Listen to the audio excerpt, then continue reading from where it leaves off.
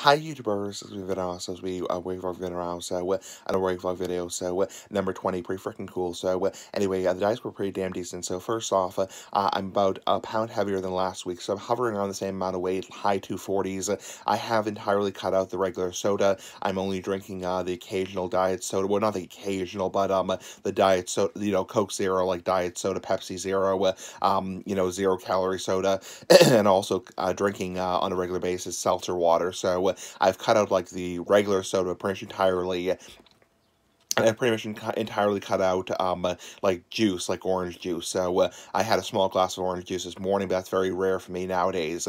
So uh, try to cut out the crappy foods, the shitty foods in general. So uh, and that's about it. So uh, um, yeah, trying to lose some weight. Hopefully by the time I see my nutritionist in August, I'll be a hell of a lot less than I'm now. A hell of a lot less because I'm I'm really not happy the weight I am right now. So it kind of sucks, honestly. It really kind of sucks. Anyway, bye.